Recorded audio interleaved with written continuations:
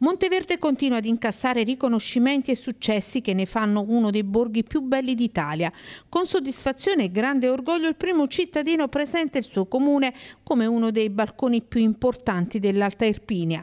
La Valle dell'Ofanto è oggi un itinerario culturale e dal 2003 un progetto di archeologia dei paesaggi dell'Università di Foggia cerca di ricostruire i processi di trasformazione dei paesaggi agrari e la storia dell'insediamento umano in rapporto all'ambiente. La cosa che ci ha inorgoglito molto è stata, abbiamo partecipato eh, con l'Unione Europea al paese più accessibile d'Europa e il 4 dicembre andiamo a ricevere questo ambito premio, che è un premio che va a tutta la comunità di Monteverde che in questi anni ci ha sostenuto in questo nostro progetto.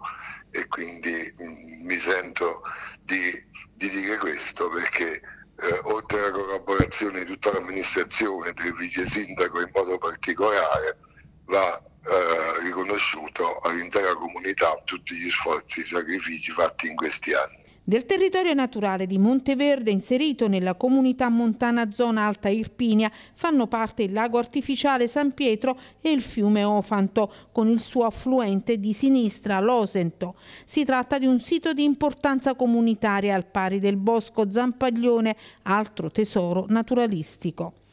Intanto a condividere la soddisfazione del successo di Monteverde anche la Presidente del Consiglio regionale Rosetta D'Amelio che ha sottolineato l'importanza dell'assegnazione di un altro importante riconoscimento a Monteverde dell'Access City Award 2019 da parte del Commissario europeo per l'occupazione, affari sociali, abilità e mobilità del lavoro. Noi abbiamo una storia, una cultura, poi c'è Matera 2019, noi siamo a un'ora di macchina, quindi siamo, siamo messi bene per questo grande evento che, che aspetta Matera nel 2019. Noi siamo vicini, abbiamo tutta una storia, una cultura da mettere in gioco.